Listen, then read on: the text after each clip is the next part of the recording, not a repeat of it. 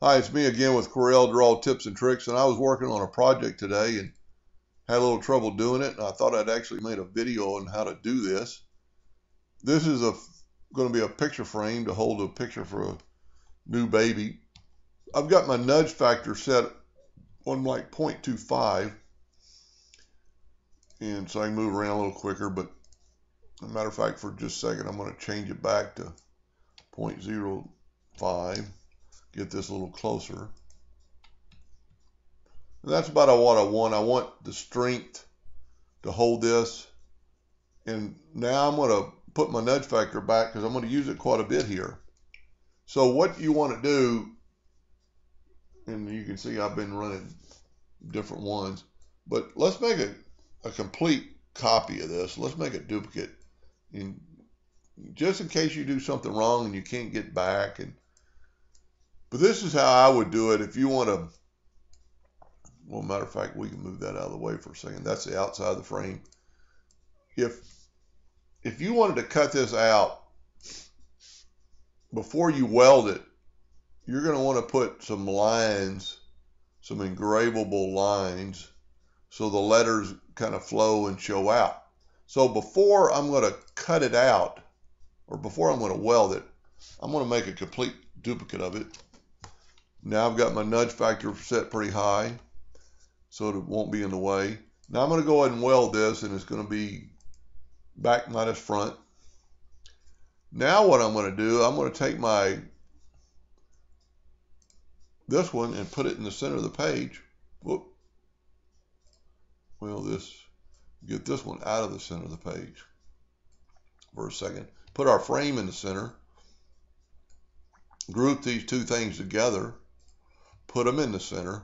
And what I'm going to do now is I'm going to smart fill the the uh, inside of the frame. I'm going to move it move the smart fill away.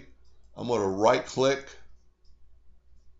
and I'm going to actually go down here and change this down so I won't forget to change it to one point.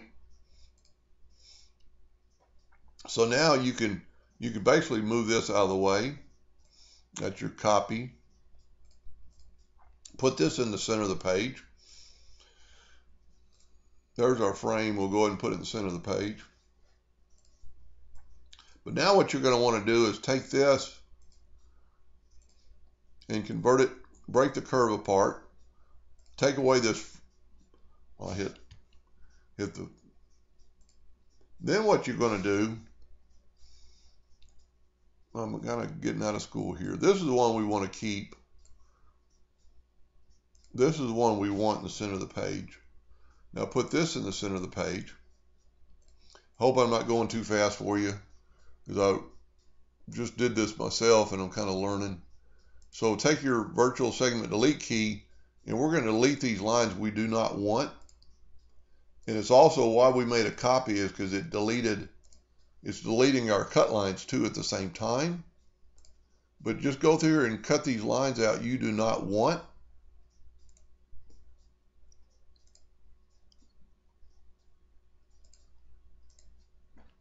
And that looks pretty good. Now what we're going to do is just select those lines. And you can see it still got something up top. Cut that away. So now you just have those lines. Now we can delete this. Go and get our real copy. Put it in the center of the page. Put this in the center of the page. But now we're going to, because our, well, that might have messed us up. But we can always change our nudge factor, but we're right on. Got lucky there. So let's see if you can see what's happening. This is going to cut out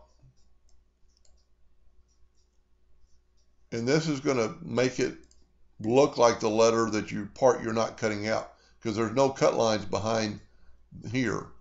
So the, the laser is going to cut this out so it'll look like that, but this is going to be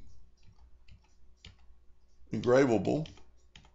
And see, I'm, I moved it without doing my nudge factor. So just set your, go off your screen, set your nudge factor a little lower, and just pop this back.